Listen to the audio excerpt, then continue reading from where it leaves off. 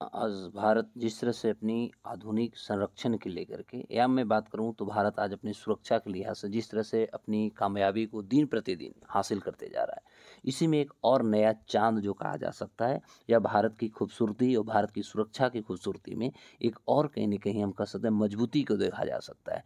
इसी एपिसोड में आज हम बात करेंगे कि भारत का पहला मानव रहित बम वर्षक विमान तैयार हो चुका है। क्योंकि आप, आज हमें जानना होगा कि भारत का ये जो आप देख रहे हैं, जो फिगर आपको दिख रही है, ये विमान का जो फिगर दिख रही है, ये भारत का पहला मानव रहित बम वर्षक विमान है। अर्थात इसमें कोई भी व्यक्ति नहीं होगा, कोई पायलट नहीं होंगे। फिर भी यह अपने टारगेट को पूरा करेगा और इस टारगेट के माध्यम से बम इसमें रहेंगे और जहाँ पर भी टारगेट फिक्स किए जाएँगे, उस टारगेट को ये फुलफिल करने की कोशिश करेगा। तो ये भारत की पहली या भारत को कह सकते हैं अंतरिक्ष के साथ साथ एक और प्रौद्योगिकी टेक्नोलॉजी में भारत की बहुत बड़ी स्वर्णिम इतिहास जुड़ने जा रहा है। तो आज हम बात करने वाले हैं भारत का पहला मानव रहित वर्म वर्षक जो विमान है, इसके बारे में आज हम बात करेंगे। क्योंकि हम लोगों को पता होनी चाहिए कि अभी कुछ ही दिन पहले आपने देखा होगा कि भारत के पहला जो हमारा है, स्वदेशी है। सबसे बड़ी बात तो यह है कि हमारी स्वदेशी बम वर्षक है, जो मानव रहित है, इसका नाम दिया गया एफ़ डब्ल्यू डी दो सौ बी, ये याद रखिएगा।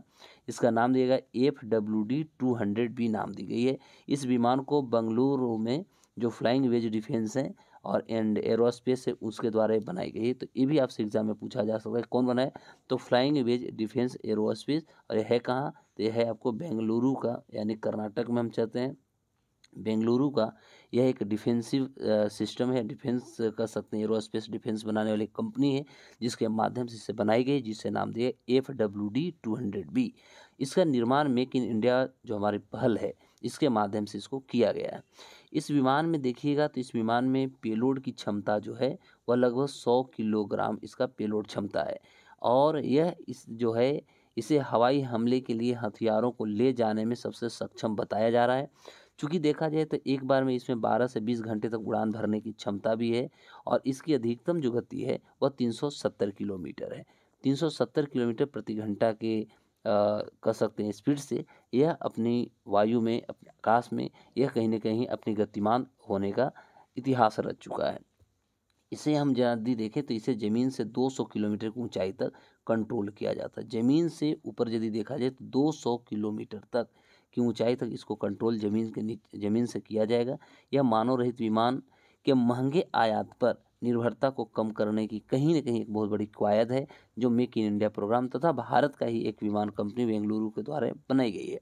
भारत में अमेरिका से बहुत सारे चीज़ों को हम कहीं ना कहीं आयात करते थे तो इस आयातित में देखा जाएगा तो प्रीडेटर जो ड्रोन है तो प्रीडेटर ड्रोन से भी बहुत कम खर्चे में इसको जो है बनाया जा चुका है। और भारत को एक अमेरिकी प्रीडेटर ड्रोन खरीदने के लिए मैं बता दूँ कि लगभग 250 करोड़ रुपए का खर्च होता था, और भारत में इसे बनाने में लगभग देखिएगा तो मात्र 25 करोड़ रुपया का खर्च आया, मात्र 25 करोड़ में बन के तैयार हुआ। अर्थात यदि देखा जाए तो 225 करोड़ रुपया की लागत जो है, इन 225 करोड़ रुपया लागत इसमें बचा हुआ या कह सकते हैं सेविंग भारत को हुआ। तो ओवरऑल यह कम्प्लीटली यदि देखा जाए तो स्वदेशी विमान है और इसको नाम क्या दी गई F W D two hundred भी नाम दी गई है और बंगलुरु की कंपनी है, जिसका नाम है फ्लाइंग वेज डिफेंस एरोस्पेस इसके माध्यम से इसको बनाई गई है। धन्यवाद, फिर मिलेंगे नए